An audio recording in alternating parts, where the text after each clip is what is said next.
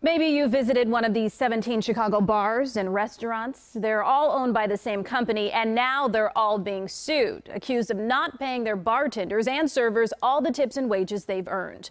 Four Corners Restaurant Group, which owns Federales in the West Loop and the rest, was just hit with a class action lawsuit. The suit claims the owners failed to pay the required minimum wage and withheld tips to the tune of more than $30 million. Four Corners says the company is confident that when the facts come to light, it will be clear the claims are without merit and based on a misunderstanding.